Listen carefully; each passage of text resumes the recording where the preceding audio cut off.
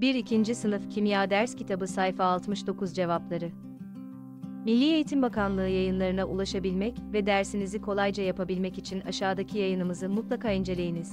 1-2. Sınıf Kimya Milli Eğitim Bakanlığı Yayınları Ders Kitabı Cevapları Sayfa 69 Hoffman voltametresi ile su elektroliz edildiğinde anot ve katotta toplam 240 cm3 gaz toplanmaktadır.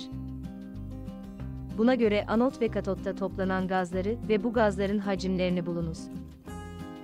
Cevap, katotta 160 cm3 H2 gazı, anotta 80 cm3 O2 gazı toplanır. Hoffman voltametresinde bir miktar su elektroliz edildiğinde devreden 0,4 mol elektron geçmektedir. Buna göre voltametrenin katodunda toplanan gazın normal koşullarda hacmini bulunuz. Cevap 4,48 L.